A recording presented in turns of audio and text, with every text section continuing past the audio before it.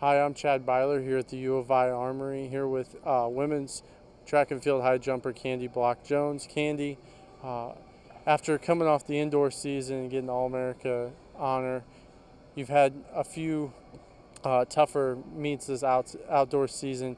How are you feeling going into the Big Ten meet and what are your expectations for yourself?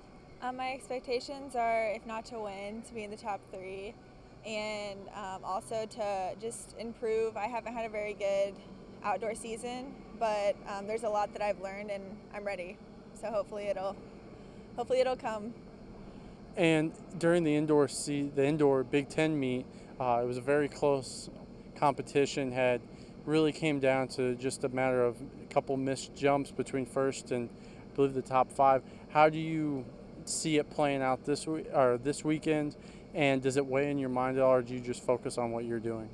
I'm really just going to go on focusing on me. Um, there is great competition, which is good for me because I'm a I'm a competitive person, and um, I just I kind of strive for competition, so it'll be good.